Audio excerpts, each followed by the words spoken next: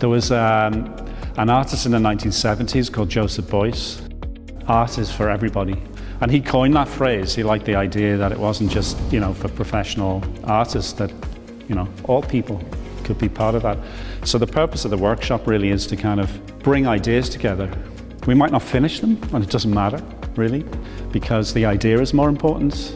So even if we have rough ideas, they can be translated into something quite finished. The idea of publicness or the idea of being on the street or the idea of protesting can be as simple as getting a black piece of cloth and uh, a bucket of paint and just inscribing something. And you see that all the time, right? I also like the idea that that could be made in five minutes, right?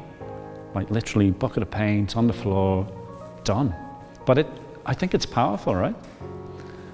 We can talk about flags, but we're not really talking about flags. This is my argument. We're talking about cultural identity. If you think back 100 years, you had a very binary notion of what cultural identity was. You were either Irish, Catholic, nationalist, Republican, or you were Protestant, Unionist, Loyalist, right? Those two binaries. And of course, skip forward 100 years and cultural identity has just really expanded. My project, in a way, in the museum, it's called A Flag for Ireland. See the colour space?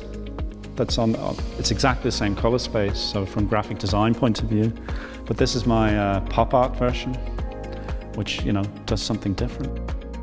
Some of you guys are that vintage, right? So you you may remember, certainly, um, those very early, I think this was the first Pride March in Ireland protest banners and flags are about the same thing.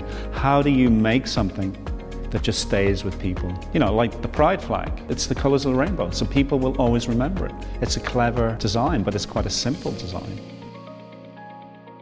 Protest banners can be incredibly powerful just as a text. And this is something we should keep in mind, just even in, even in terms of how much time we have to make these things, right?